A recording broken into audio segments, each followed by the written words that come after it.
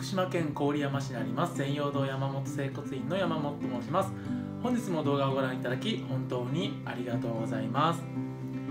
えー、今日はですねこの AGE と OS についてお話していきたいと思います、えー、AGE ってですねあんまり聞き慣れない言葉だと思うんですけども、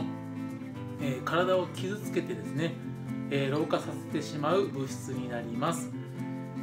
えー、体の中でですね、あのー、作られる物質でもあるんですけども、えー、食べるものにもですね、え入っています。どんなものに多いかというと、え高温で調理したものに多く含まれております、え例えばですね分かりやすいので言うと,、えーと、パンの焦げですね。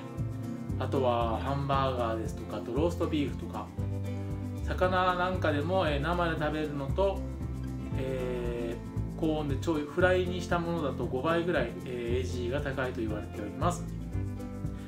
えー AG が多いとですね体が傷つけて老化とか病気の原因になりますのであまりこう口にはあの入れない方がいいんですけども、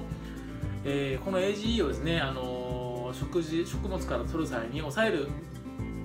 あの抑えられるものがあります。それがこのお酢になっていきます、えー、例えばですねお肉なんかを焼く前にお酢につけてマリネにして焼くとですね AG 値がだいぶ抑えられると言われております、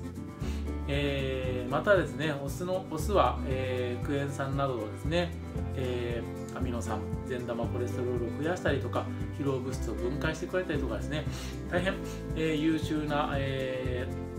ー、ものですので料理する際は活用してみてはいかがでしょうか。本日も動画をご覧いただき本当にありがとうございます。